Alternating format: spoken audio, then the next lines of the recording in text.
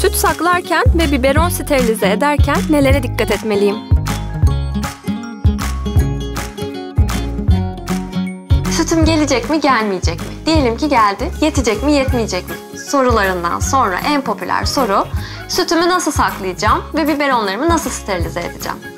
Evet Ayşe Hanım, nasıl saklayacağız bu sütleri, ne yapacağız? Evet, e, bazen o kadar çok süt oluyor ki anneler e, tabii damlasını dahi ziyan etmek istemiyorlar. E, bir pompa yardımıyla sütler sağılabilir e, ve e, toplama kapları e, ve e, torbalar yardımıyla. E, eğer sütü hemen vermeyi planlıyor isek, yani birkaç saat içinde vereceksek, 25 derecenin üstüne çıkmadığı takdirde süt tezgah üzerinde 5 Oda sıcaklığında. yani evet oda sıcaklığında 5-6 saat kalabiliyor. O zaman e, bekleyebiliriz ama eğer bebeğe e, akşam veya ertesi gün vermeyi planlıyor isek o zaman buzdolabının orta gözüne yani kapağına değil biraz duvara yakın kısmına koyarsak aşağı yukarı 72 saat kalabiliyor. Ama oradan mesela çıkarıp bebeğe verdik ve artan süt de oldu. İstersek e, bu sütleri e, derin dondurucuda da saklayabiliyoruz.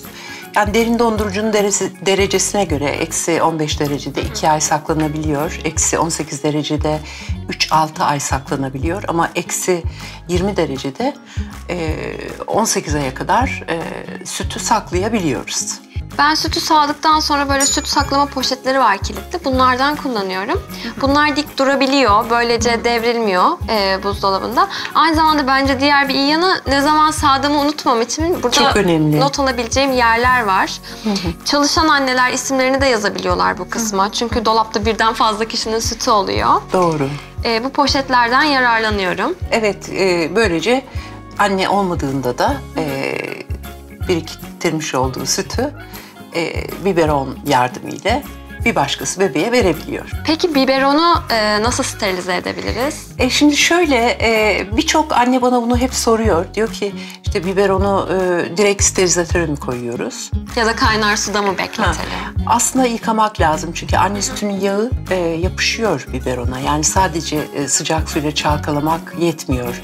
Onun için e, mutlaka bir e, Doğal bir deterjan. doğal bir deterjan ve fırça ile yıkayarak ve iyice çalkaladıktan sonra sterilizatöre e, buharla çalışan bir sterilizatör konulabilir ve sterilizatörün e, görmüş olduğunuz e, şekilde kapağı var ve iki kısım halinde.